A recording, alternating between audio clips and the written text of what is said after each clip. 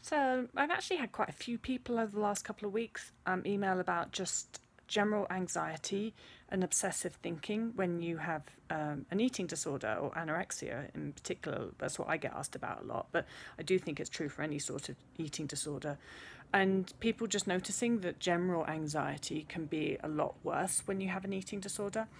And I, I think this is definitely true. Certainly noticed myself. I had a really strong OCD component, so I was like I was like OCD about everything. Of course, there was the eating OCD and the exercise OCD, but I was I was like I was just OCD about everything that I did. Really, anything that could become a habit or a pattern would become a habit or a pattern with me. Um, and that is only true for me when I have anorexia. I was never like that before I had anorexia. I'm not like that now. Relatively disorganized daily schedule. Um, it's like I was even OCD about not just the type of food that I buy, but the where I'd shop and when I'd shop and how I'd shop, even walking through the same aisles of the store in the same routine. Like, and it wouldn't even occur to me but it'd be like that. It's like my brain just doesn't operate that way anymore, which is bizarre because it operated that way about everything that it could possibly do when I had an eating disorder. And I think that when your brain thinks that there's not enough food in the environment, when you're in energy deficit, things just start to happen differently. Your brain has to become kind of really like, oh, if something worked yesterday, if I did something yesterday, and obviously I survived yesterday, so your brain wants to do the same thing about everything, whether it's food or exercise related or whatever, because your brain thinks that it's in this environment that's hostile.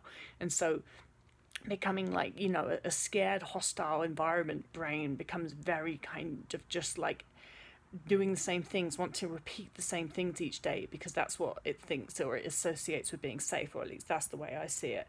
Because as soon as I, or when I started to come out of energy deficit, for me, a lot of those behaviors deteriorated. They didn't go away completely because I had those neural pathways set up, which is why I'm so on the neural rewiring bit as well, because nutritional rehabilitation will get you out of energy deficit. So that's like the driving force behind the OCD behavior goes away. But because the neural pathways are set up, it's like the OCD behavior, those neural pathways are still there. So you do have to do work, even when the driving force behind the OCD and the repetitive behavior and the food stuff and the exercise stuff, when that driving force has gone away, you still have to deal with the the neural network and change that neural network. But it's so much easier when that driving force is not there, when you've got nutritionally rehabilitated or when you're in the process of nutritionally rehabilitating. Um, and so I guess what I'm trying to say is that the OCD is certainly things that needs to be rewired, despite the fact that it should and probably will get less intense as you nutritionally rehabilitate. The anxiety usually gets more intense as you nutritionally rehabilitate because you're challenging so much more.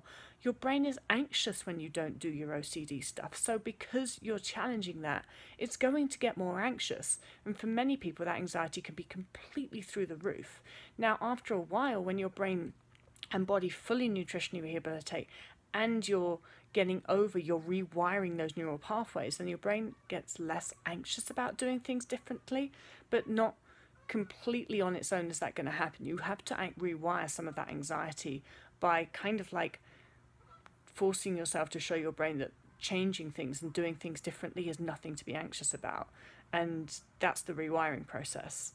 Um, so, I guess the answer to the general question that I have here, which is um, is obsessive thinking and intense anxiety a common component of anorexia resulting from malnutrition? If so, does the obsessive fixated thinking and anxiety get better with weight restoration recovery?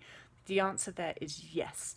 It's the malnutrition that is the driving force behind the obsessiveness, the anxiety, and all of those things.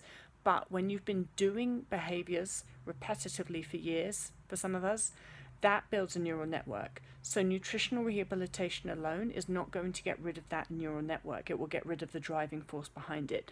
It's the neural rewiring that will get rid of that neural network.